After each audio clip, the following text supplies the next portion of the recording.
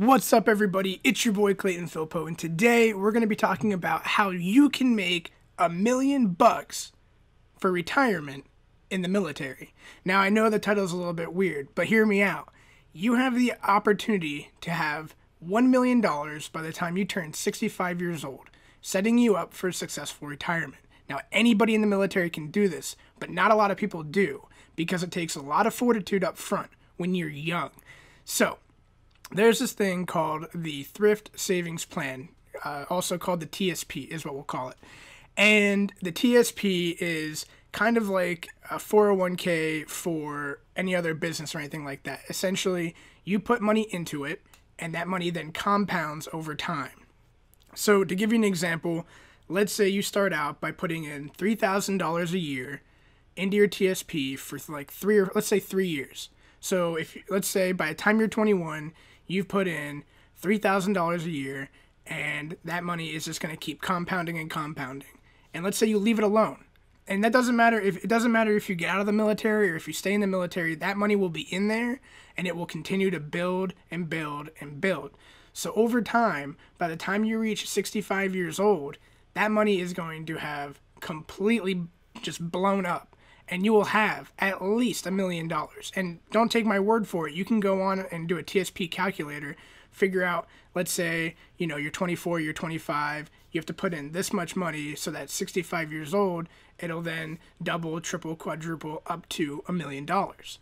And so how so okay, well this TSP it sounds great, but why don't people do it? Again, young people don't like to put money away, you know, because we're young we want to go buy that Xbox or that iPad or whatever it might be, and we don't think about when we're going to be 65 years old and we can't work anymore and we just want to enjoy, you know, our last, you know, quarter of our life on earth, you know what I mean? So it takes a lot of uh, fortitude to put the money in to the TSP and keep it there.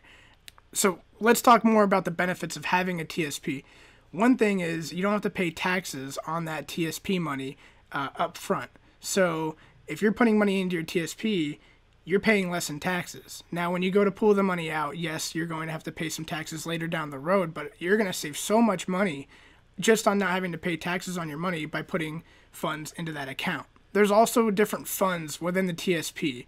Uh, there's the G fund, the F fund, the C fund. So basically, what these funds are are they're just they're different funds within the government that you can invest in, and some of them have a little bit higher risk, some of them have a little bit higher reward. You know, so a lot of people like to put their funds into the I fund. Uh, and watch their money gain a little bit more traction, or you can play it super safe, put it in the G fund, and uh, that money is never going to you know go bad because it's the government securities fund. And uh, that num- that money's just never going to go away. It's always going to keep building up. No matter what fund you put it into you're going to make money. I, am almost 100% certain. And uh, if you just you know bite the bullet put in that $3000 a year for just a couple of years you're going to have a really really nice retirement uh, and that, that means you can only do three years or four years in the military and then get out, and that money will keep on building. So, what I recommend to you is when you get into boot camp, they're, they're going to ask you, how much money would you like to put into your TSP? They'll, they'll tell you the exact same stuff I'm telling you right now. And most people put about 6% of their paycheck or 7% of their paycheck. I urge you, I urge you, put in like 25 or 30% of your paycheck, you know, because you're going to be a private, you're going to be a lance corporal. You don't need to go out and buy a whole bunch of stuff. You don't have any bills to pay. You know, ideally, you don't have uh, a wife to support or a husband to support.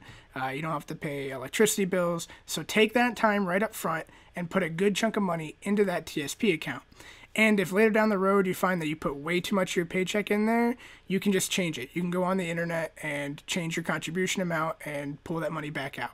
It's not a big deal. But I encourage anybody who is just joining the military to put a good chunk of their paycheck into the TSP. Now, I talked about matching contributions. So, right now, the Army is the main one testing out doing matching contributions, which means if you put in $3,000, the Army will match $3,000. So, essentially, you're getting free money right off the bat. That's crazy, right? You put in $3,000, they'll give you $3,000, and then that money will keep on multiplying.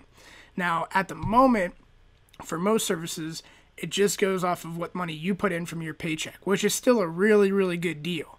However, if and if I mean I'll update you guys if over the next few months or years that they update it so that it's matching contributions. Uh, that's huge. Okay, that's a really big deal because essentially you're just missing out on free money at that point. Again, I'll update you uh, if and when things change on that. In the comments below, you know, tell me about what you're doing for retirement. I know we're all really young. I mean, most of you guys are probably between the ages of like, I'm gonna guess like 14 and 25, probably in that that range what are you guys doing right now to make sure you're good for retirement? And I know that's something that's a weird question. That's something that not a lot of people ask, but I think it's really, really important, and we need to uh, think about it right now.